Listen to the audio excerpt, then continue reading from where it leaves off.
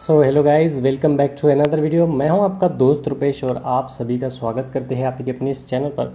दोस्तों, आज के इस वीडियो में हम जानेंगे मोबाइल हार्ड रीसेट के बारे में कि कैसे जो है आप अपने फ़ोन को जो है वो हार्ड रीसेट कर सकते हैं। दोस्तों हार्ड रीसेट करने की ज़रूरत कब पड़ने वाली है और आपको हार्ड रीसेट क्यों करना चाहिए, इन सब के बारे में आज इस वीडियो में हम बात करेंगे। और आपको ये भी मैं बता दूँ कि अगर आप अपने फ़ोन का लॉक स्क्रीन अगर भूल जाते हैं तो किसी भी तरह का पैटर्न या फिर किसी भी तरह का पासवर्ड अगर आप भूल जाते हैं तो आप अपने फ़ोन को कैसे जो है घर पर ही इसे हार्ड रिसेट करके जो है इसे ओपन कर सकते हैं। तो आज इसके बारे में इस वीडियो में बात करने वाले हैं। वीडियो को बिल्कुल स्किप ना करें दोस्तों, क्योंकि आप अगर एक भी स्टेप मिस कर देते हैं तो आपको जो है वो प्रॉब्लम्स हो सकती है। तो चलिए जानते हैं कि हार्ड रिसेट करने से क्या बेनिफिट्स आपको मिल सकते हैं और हार्ड रिसेट कब करना चाहिए और हार्ड रिसेट करते वक्त किन बातों का जो है आपको ध्यान रखना होगा। तो इन सभी के बारे में बात करेंगे। तो चलिए चलते हैं और देखते हैं कैसे जो है आप अपने फ़ोन को हार्ड रिसेट कर सकते हैं। तो चलिए दोस्तों, देखते हैं कैसे जो है आप अपने फ़ोन को हार्ड रिसेट कर सकते हैं। अब देखिए दोस्तों, मेरा जो ये फ़ोन है, ये फ़ोन अभी ऑन कंडीशन में है तो आपको इसे पहले स्विच ऑफ़ करना है तो आपको पावर बटन प्रेस करके आपके फ़ोन को जो है वो स्विच ऑफ़ कर देना है। तो हमने इसे पावर ऑफ़ कर लिया है। अब आपको क्या करना होगा, आप ध्यान से सुनिए दोस्तों, यहाँ पर कोई भी गड़बड़ी नहीं करनी है। अब यहाँ पर आप जब अपने फ़ोन को, चाहे फिर आप फैक्ट्री रिसेट कर रहे हो या फिर हार्ड रिसेट कर रहे हो आप यहाँ पर ये बात का ज़रूर ध्यान रखें कि आपके फ़ोन में बैटरी परसेंट कितना है। जी हाँ दोस्तों, कई सारे लोग ये गलती कर जाते हैं और बाद में जो है मैसेज करते हैं या फिर कमेंट करते हैं कि, सर, हमारा फ़ोन जो है वो अभी ऑन नहीं हो रहा है। तो ऐसा क्यों? क्योंकि दोस्तों, जब आपका फ़ोन अगर बैटरी चार्ज फुल नहीं है या फिर बैटरी चार्जिंग कम है तो ऐसे में हार्ड रिसेट करते वक्त तो वो जो है वो ज़्यादा बैटरी कंज्यूम कर सकता है। और ऐसे में अगर आपकी बैटरी मान लीजिए पूरी तरह से डेड हो जाती है या फिर पूरी तरह से ख़त्म हो जाती है तो ऐसे में आपका जो प्रोसेस है वो आधे में लटक जाता है। और ऐसे में हो सकता है आपके फ़ोन का जो एंड्रॉयड वर्जन है या फिर जो सॉफ्टवेयर है वो पूरी तरह से यहाँ से जो है वो दोस्तों डिलीट हो जाए। तो ये पॉसिबिलिटी बहुत ज़्यादा होती है, इसीलिए बहुत सारे लोग ये गलती करते हैं। तो मैं ये गलती को यहाँ पर सुधारना चाहूँगा। हमेशा अपने फ़ोन को जो है ज़्यादा से ज़्यादा चार्ज रखें, तब जाकर ही फैक्ट्री रिसेट या फिर हार्ड रिसेट करें दोस्तों। ठीक है? कोशिश करें कि आप अपने फ़ोन को फुल चार्ज कर कर या एटी परसेंट या नाइन्टी परसेंट पर रख कर ही अपने फ़ोन को हार्ड रिसेट या फिर यहाँ पर फैक्ट्री रिसेट करें। चलिए दोस्तों अब बात करते कि हमारे फ़ोन को हम हार्ड रिसेट कैसे करेंगे। तो आप यहाँ पर देख पा रहे हैं यहाँ पर ये हमारी वॉल्यूम बटन होती है ये अप वॉल्यूम होती है और ये डाउन होती है और ये हमारी पावर है। तो आपकी कहीं पर भी पावर हो सकती है। तो, तो अब मैं बता देता हूँ कि रीसेट कैसे होता है या फिर कई सारे फ़ोन्स में जो रीसेट की प्रोसेस है वो थोड़ी अलग हो सकती है। तो जैसे कि आप देख पा रहे हैं दोस्तों ये Asus Zenfone Max Pro M one है। तो इसमें जो हार्ड रीसेट होता है वो वॉल्यूम की डाउन बटन और पावर बटन को एक साथ दबाने से यहाँ पर जो है एक मेनू ओपन हो जाता है, जो कि हार्ड रिसेट का मेनू होता है दोस्तों। और कई सारे फ़ोन में आप ट्राई करके देखिए, ज़्यादातर जो फ़ोन्स होते हैं उसमें यहाँ पर डाउन बटन और पावर बटन दबाने के बाद ही जो वो रिसेट होता है। अब मान लीजिए अगर नहीं हो रहा है तो आपने यहाँ पर अप बटन और पावर बटन को दबा कर देखना है। हो सकता है मेनू आपके सामने आ जाए। अगर फिर भी नहीं आता है दोस्तों तो यहाँ पर दोनों, यानी तीनों बटन को एक साथ प्रेस करना है। जैसे कि आप देख पा रहे हैं, यहाँ पर ये वॉल्यूम का मैंने अप एंड डाउन बटन दोनों ले लिया और यहाँ पर। तो इस तरह से भी आप रीसेट जो है वो कर सकते हैं। अब ये तो डिपेंड रहेगा कि आपका कौन सा हैंडसेट है, उस हिसाब से जो है वो रीसेट आप कर पाएँगे दोस्तों। और मेरी मानिए कि यहाँ पर बहुत सारे फ़ोन्स में मैंने देखा है कि यहाँ पर डाउन बटन और पावर बटन को दबाने के बाद जो है वो यहाँ पर हार्ड रिसेट का मेनू ओपन हो जाता है। तो मैं आपको दिखा देता हूँ कि कैसे जो है मेनू आपके सामने आ जाएगा।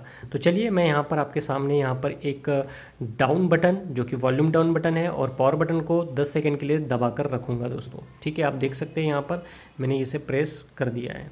तो प्रेस करके रखना है दोस्तों, जब तक कि आपके सामने कोई स्क्रीन ना आ जाए। ओके, आप छोड़ दीजिए। अब आप देखेंगे थोड़ी देर में बुट हो जाएगा, जो कि हार्ड रिसेट के लिए बुट मांगेगा दोस्तों। तो ये हार्ड रिसेट का मेनू भी आपके सामने आ जाएगा। सो so गाइज़ जैसे आपने प्रेस किया, आपके सामने एक मेनू आ चुका है और इस मेनू में आप देख सकते हैं कुछ अलग अलग तरह के ऑप्शंस देखने को मिलते हैं। जैसे कि पहला ऑप्शन है दोस्तों reboot system now reboot system now का मतलब होता है कि अगर मान लीजिए गलती से अगर आपने ये प्रेस कर दिया है और आप अपने फ़ोन को जो है वो रिस्टार्ट करना चाहते हैं या रिबूट करना चाहते हैं तो ये पहले वाला ऑप्शन है दोस्तों। उसके लिए आपको ये सिलेक्ट जो दिखाई दे रहा है ब्लू कलर की लाइन इसका मतलब अभी हमारा ये ऑप्शन सिलेक्ट है। कौन सा ऑप्शन दोस्तों? रिबूट सिस्टम ना हो तो आपको क्या कर देना है? यहाँ पे सीधा प्रेस कर देना है तो आपका जो मोबाइल है वो रिस्टार्ट हो जाएगा। अगला जो ऑप्शन है, ये रिबूट बूट लोडर दोस्तों, यहाँ पर किसी भी तरह से कोई भी छेड़खानी नहीं करना है। और यहाँ से ये अगर आप कुछ भी अपडेट करना चाहते हैं तो ये आप कर सकते हैं। तो मैं भी कहूँगा, इससे भी आप छेड़खानी ना करें। ये दोस्तों, ये जो ऑप्शन आपको दिखाई दे रहा है वाइप डेटा फैक्ट्री रिसेट तो ज़्यादातर wipe data and factory reset इस वाले ऑप्शन का आप यूज़ करें ताकि आपका फ़ोन पूरी तरह से हार्ड रिसेट हो सके। दोस्तों, ये भी एक तरह का फैक्ट्री रिसेट ही है। और ये है दोस्तों wipe cache partition wipe cache partition का मतलब होता है जो आपके फ़ोन में जितने भी अननेसेसरी जो फाइल्स के कैच फ़ाइल बनती है दोस्तों जिसे हम कैच फ़ाइल बोलते हैं, जो अननेसेसरी एप्लीकेशंस की फाइल्स बनती है, जिससे हमारा बहुत ज़्यादा जो है मेमोरी भी यहाँ पर जो है वो कंज्यूम कर लेता है हमारा मोबाइल यानी बहुत ज़्यादा मेमोरी जो है वो भर जाती है। तो ऐसे में आप इस ऑप्शन का यूज़ करके जो है कैच फ़ाइल को जो है वो डिलीट कर सकते हैं। बाकी तो किसी भी ऑप्शन का मैं यहाँ पर आपको नहीं बताऊँगा कि आप इनमें से किसका यूज़ करें। तो आप यहाँ पर वाइप फैक्ट्री डेटा रिसेट पे क्लिक करके यहाँ से आप फैक्ट्री रिसेट कर सकते हैं। तो मैं इसे प्रेस कर देता हूँ। ठीक है दोस्तों? प्रेस करने के बाद, ठीक है, आपको यहाँ पर वार्निंग दी जा रही है वाइप ऑल यूज़र डेटा तो आपका सारा डेटा यहाँ पर चले जाएगा। ओके और आप यहाँ पर यस करना चाहते हैं तो देखिए, ये प्रेस कर दीजिए ये बटन नीचे वाली यस पर आ जाइए और फाइनली यहाँ पर ये बटन प्रेस कर दीजिए दोस्तों।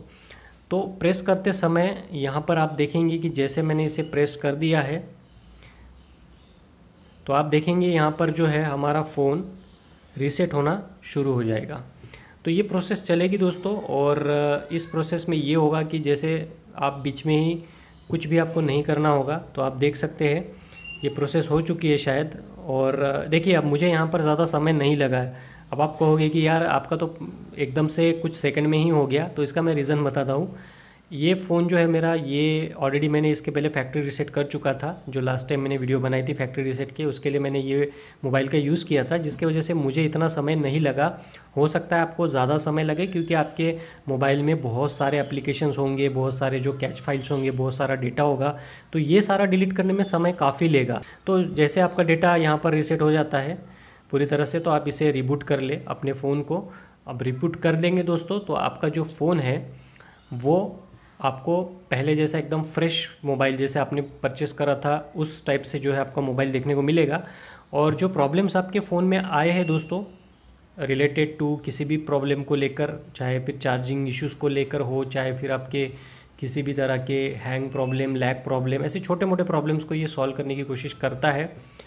सो so गाइज़ इस तरह से जो है आप अपने मोबाइल को हार्ड रिसेट करके अपने मोबाइल को एक फ्रेश मोबाइल बना सकते हैं और काफ़ी ज़्यादा इम्प्रूवमेंट हो जाएगा जब आप अपने फ़ोन को हार्ड रिसेट करेंगे तो इंटरफेस देखिए दोस्तों, यहाँ पर आप देख सकते हैं।